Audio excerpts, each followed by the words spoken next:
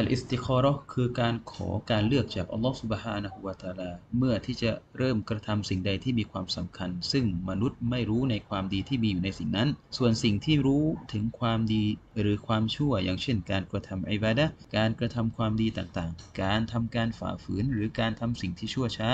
ดังนั้นไม่มีบัญญัติให้ทำการอิสติคอเราะห์และฮิกมะจากการอิสติคอเราะห์ก็คือ การมอบหมายทุกสิ่งทุกอย่างแด่อัลลอฮฺตะอาลาและมุ่งหน้าสู่พระองค์ และเป็นการรวมไว้ซึ่งความดีของดุนยาและอาคิราะห์และไม่มีสิ่งใดที่จะมีประโยชน์สำหรับสิ่งนั้น มากไปกว่าการละหมาดและการขอดุอาเพราะในสองสิ่งดังกล่าวนั้น มีการให้ความยิ่งใหญ่ต่อลอและการชมเชยต่อพระองค์ และการแสดงความขัดสนขาดแคลนไปอย่างพระองค์ ส่วนวิธีการของมันก็คือมีรายงานยืนยันมาจากท่านยาบิรบินอับดุลละห์รดิยัลลอฮุอันฮุมาท่านกล่าวว่าท่านรอสูลุลลอฮ์สัลลัลลอฮุอะลัยฮิวะสัลลัมได้สอนพวกเราเกี่ยวกับอัลอิสติคอราะในกิจการต่างๆ เหมือนดังที่ท่านได้สอนพวกเราเกี่ยวกับซูเราะห์จากอัลกุรอาน คนหนึ่งคนใดจากพวกท่านเมื่อมีความปรารถนาจะทำสิ่งใด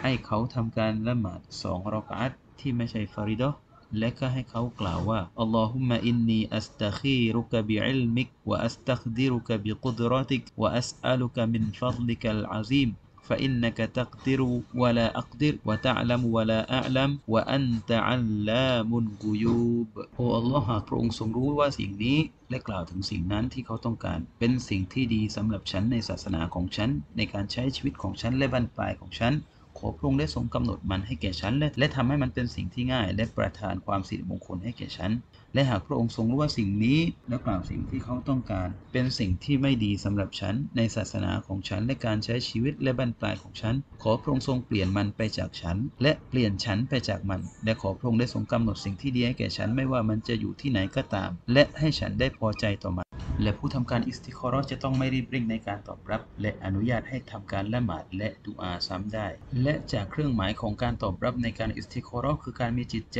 ที่สบายขึ้น มีกิจการที่ง่าย และไม่มีเงื่อนไขว่าจะต้องมีการฝันเห็นสิ่งนั้น ส่วนเครื่องหมายของการไม่ถูกตอบรับก็คือ มนุษย์จะถูกเปลี่ยนไปจากสิ่งนั้น และจะไม่ง่ายสำหรับเขาในการกระทำและจะไม่เหลือในหัวใจของเขาหลังจากถูกเปลี่ยนออกไป ซึ่งความผูกพันเกี่ยวข้องกับมันอัลลอฮฺตะอาลาทรงตรัสความว่า อาจเป็นไปได้ว่าการที่พวกเจ้าเกลียดสิ่งหนึ่งทั้งๆทที่สิ่งนั้นเป็นสิ่งดีแก่พวกเจ้า และก็อาจเป็นไปได้ว่าการที่พวกเจ้าชอบสิ่งหนึ่ง ทั้งๆทที่สิ่งนั้นเป็นสิ่งเลวร้ายแก่พวกเจ้า และอัลลอฮ์นั้นทรงรู้ดี แต่พวกเจ้านั้นไม่รู้